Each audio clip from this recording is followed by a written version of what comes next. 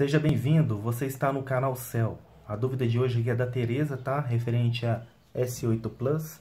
Vou pedir para você se inscrever no canal se você não é inscrito e deixar o seu like também. A Tereza ela gostaria de saber como se faz para tirar os números, tá? Que fica aí no seu teclado virtual do seu S8, tá? Por exemplo, gente, aqui ó, quando ela vai digitar uma mensagem, fica os números aqui em cima, tá vendo? Ela gostaria de estar retirando esses números, segundo ela, ela não gosta. É a pergunta, como que eu faço para estar tá retirando isso? Bom, Tereza, é só você fazer o passo a passo aqui que eu fizer para você, tá? Eu tenho certeza aí que tudo vai se resolver, tá bom?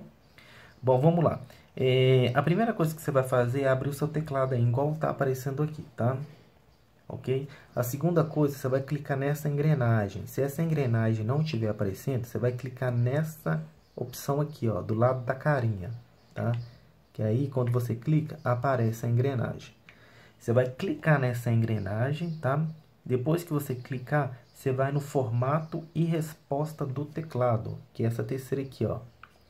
Você vai clicar sobre ela e você vai clicar em teclas numéricas, tá? Vamos procurar teclas numéricas aqui. Aparência, símbolos, hum, tema. Deixa eu ver aqui.